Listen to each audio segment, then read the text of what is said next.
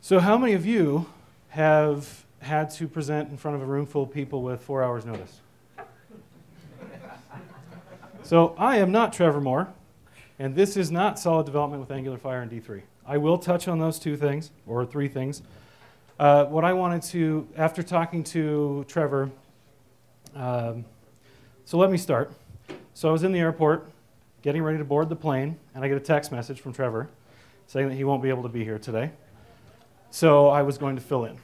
Um, he sent me his slide deck, and without much context, I, I was really uh, unprepared for, for this until about 4 o'clock when I figured out what, what he was trying to say with this, and I wanted to add a little bit of my own flavor to it. So, the original idea of the solid development was about applying engineering principles and design to the hackathon that we did just a few months ago at CDK, where I work. So, who am I?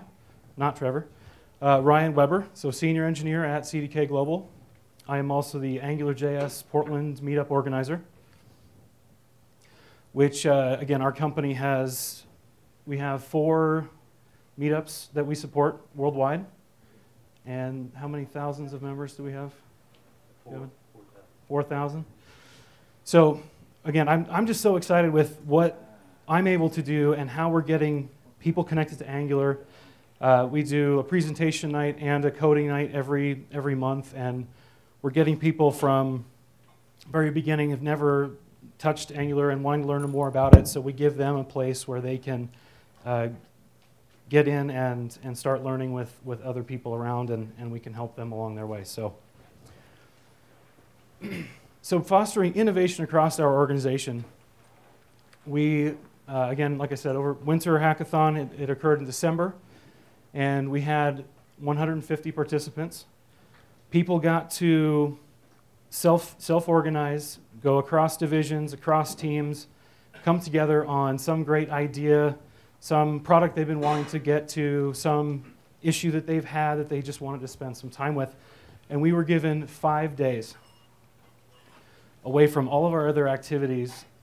We took an entire floor of our building and just got let loose. So now, uh, this, this almost didn't happen, but one of our newer senior leaders had convinced uh, his, his manager that this is something that just had to happen. That we had to get more people involved in and giving them time to innovate and to go forward on, on some, some of their great ideas. So there's Trevor. Um, the reason that the team I was on was brought together he was working for a group that was doing reporting across enterprises for some of our largest clients. And um, so the issue that we were facing and the product he knew that we were trying to build was allowing teams to, or our customers, to see their data in a, through a data visualization, um, whether that be a bar graph, line, line graph, uh, bar chart, etc., and pie as well. So he constructed a team that had several members with, with, data, with some of the data experience, excuse me, um, and, and others that, that had some front-end experience. We also had several people that had never been exposed to Angular, and they jumped right in and were able to create things very quickly, which was, which was really impressive so again, the idea was being able to capture all of this data that we have and be able to present it to the developers and, uh, and to other and to the customers of ours so they could build their own little widgets. so just some context about the company that I work for. So we have customers represented in more than 100 companies, over 26,000 websites, I think we're installed in more than 5,000 uh, of the of our dealership sites. We have nine of the top 10 uh, auto dealer groups as our customers. So there's a lot of information that we have that we can show them that's really valuable to allow them to make better choices, to allow them to move resources, etc. So, what technology did we use in our hackathon? Angular, of course.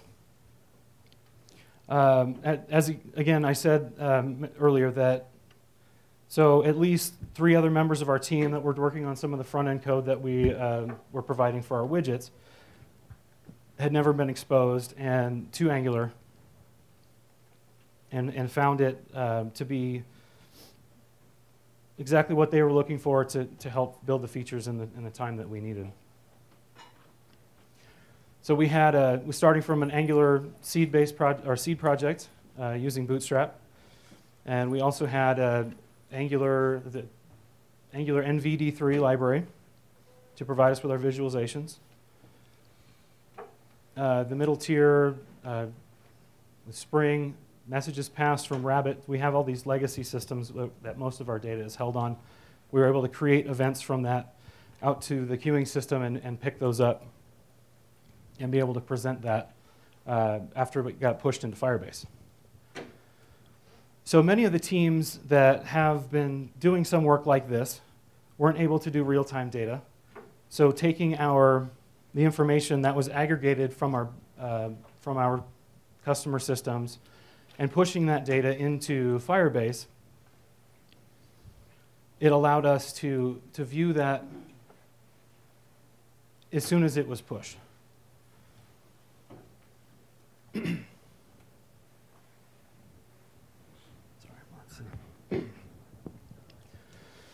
so we started with the, uh, the, the, data that was living on our, our customer systems.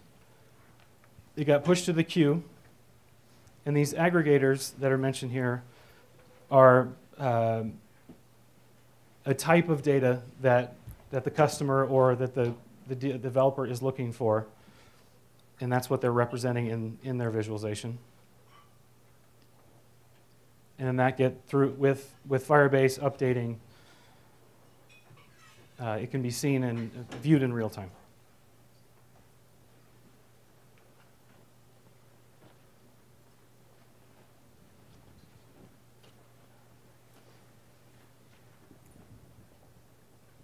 Oh, thank you so much.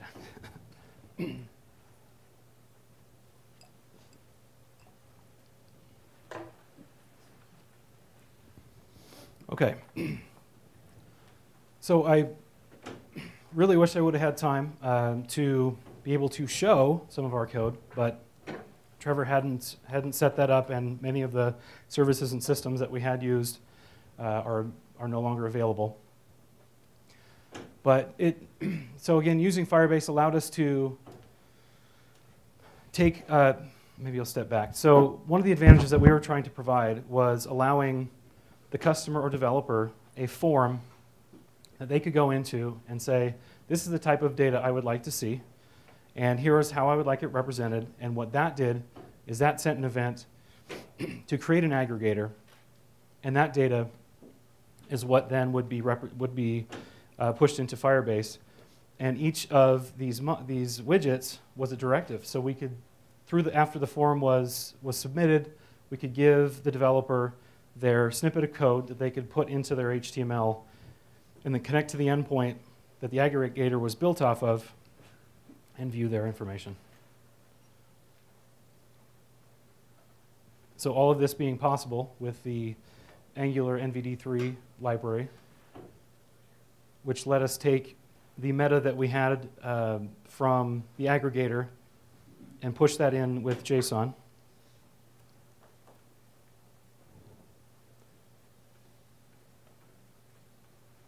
This is about the same thing. So again, showing how through all the different sources, each of these representing the aggregators of the type of information we were trying to present was getting was flowing into to Firebase, and based on what the based on the widget that was created, the directives that were placed in the HTML, they could show the information provided.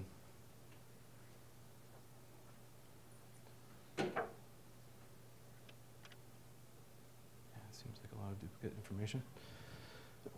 so we did end up, uh, we did win the, the hackathon. Uh, it showed really well. We had some customers that were judging, And I believe they said that if we don't have this in the next year, then I'm going to be really upset.